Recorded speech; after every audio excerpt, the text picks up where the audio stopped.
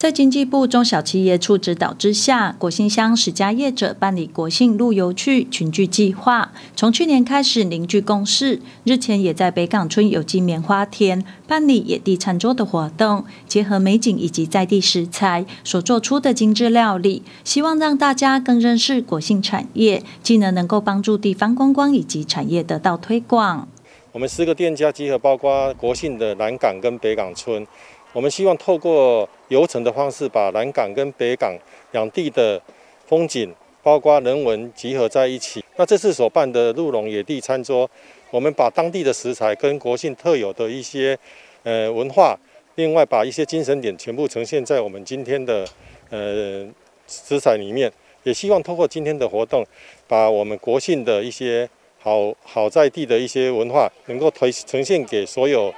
呃。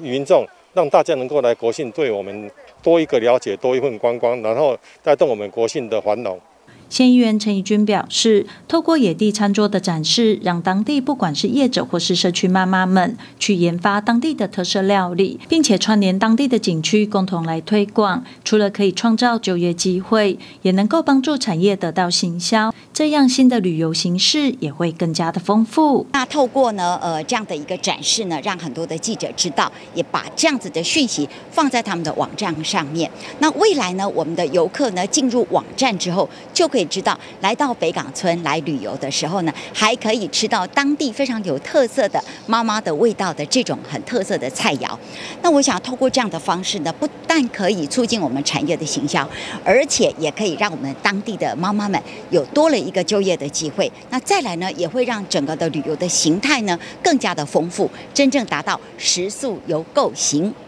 副会长潘一全感谢经济部中小企业处辅导办理国信路游区计划，整合国信乡南港以及北港两村的旅游资源，并且结合在地食材办理野地餐桌，行销在地观光以及产业的用心，也期许透过计划的推广，能够提升在地观光以及产业的能见度，进而帮助地方可以繁荣发展。记者陈维一国信乡采访报道。